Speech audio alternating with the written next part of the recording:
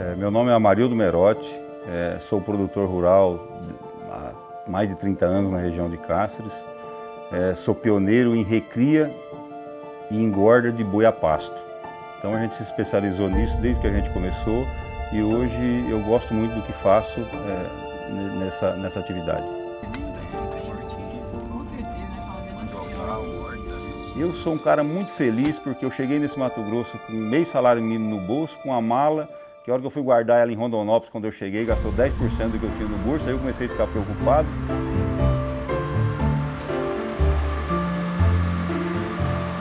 O processo nosso começa na compra dos bezerros. Eu tenho vários parceiros que criam o bezerro e, e são fornecedores meus. Como é que a gente faz? Eu às vezes ajudo até o cara a financiar a vaca dele. Então assim, eu pago um bezerro, começo a pagar um bezerro para ele com 3, 4 meses de idade e na desmama ele começa a me entregar. Além de eu ajudar o cara que me ajuda com um bezerro bom, eu consigo tirar um boi novo, com um peso bom e me dando uma lucratividade bacana. Deus foi muito bom comigo também, fiz a minha parte, sei que fiz minha parte, mas a gente tem que agradecer.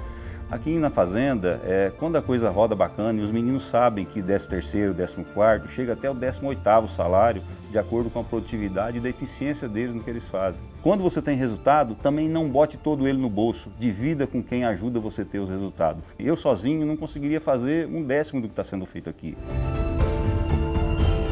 Eu encaro a minha vitória é, e a minha felicidade de estar recebendo esse prêmio em respeitar todo mundo que me acompanha desde quem me fornece o bezerro, quem me fornece a matéria-prima e quem me fornece o trabalho. Isso para mim é uma coisa que me dá muito prazer de ter a maioria dos meus funcionários aposentam comigo. Isso é uma coisa que me dá muito orgulho.